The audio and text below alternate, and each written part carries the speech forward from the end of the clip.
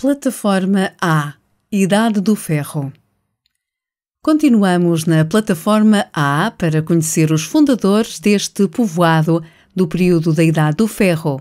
E para saber a sua origem, recuamos à primeira metade do século IV a.C., quando começa a ser aqui construída a muralha.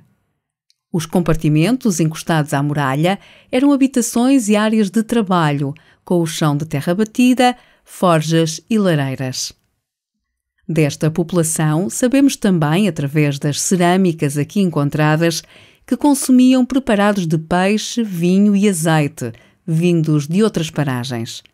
Já os ossos de ovelhas, cabras, bovinos e veados, aqui descobertos, testemunham a prática da pecuária e da caça. As sementes e os coçoiros, que eram pequenos pesos usados nos tiares, evidenciam também o cultivo da terra e a prática da tecelagem.